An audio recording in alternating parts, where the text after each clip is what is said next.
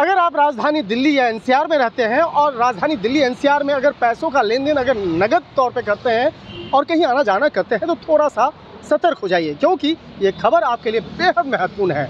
दरअसल, पिछले कुछ दिनों पहले प्रगति मैदान के ठीक सामने जो टनल है, उस टनल के अंदर में एक कारोबारी के साथ में लूटपाट की वारदात को अंजाम दिया गया था।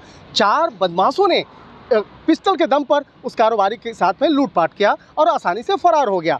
लेकिन कैसे लूटपाट हुई, कैसे इस मामले में उन बदमाशों के द्वारा उस कारोबारी को रेखी किया गया, इन तमाम मामलों पर नई दिल्ली पुलिस तफ्तीश कर रही है। इस वक्त मैं आपको दिखाना चाहेंगे वो टनल को। ये टनल ठीक प्रगति मैदान के सामने है और इस टनल के माध्यम से ही जब पटेल साजन कुमार नाम का एक कारोबारी अपने कैब से जा रहा था, इसी बीच में उस कैब को रोका जाता है। इसी टनल के अंदर से उसे रोका जाता है और पिस्टल के दम पर उससे तकरीबन दो लाख रुपये लूट लिया जाता है। हालाँकि वो एक बैग में था, लेकिन ऐसा अनुमान लगाया जा रहा है, वो पहले से ही उसका पीछा कर रहा था।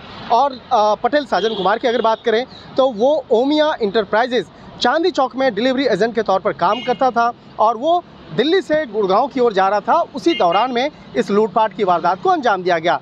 अब दिल्ली पुलिस इस मामले में कई तरह के इन्वेस्टिगेशन कर रही है।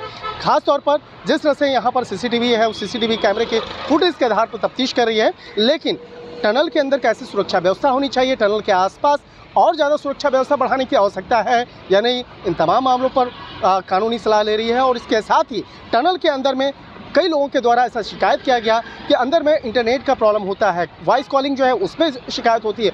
लिहाजा इस बात को भी लेकर आगे लीगल जो एक सलाह है वो लिया जा रहा है और इसके साथ ही पुलिस की टीम अब उस कारोबारी को गिरफ़्तार करने के लिए अब तलाश रही है और इसके साथ ही आसपास में जो तमाम जो लोग हैं, उनको भी सतर्क भी कर रही है। वीडियो जर्नलिस्ट जगदीश गौतम के साथ शंकर आनंद, न्यूज़ एटीन, दिल्ली।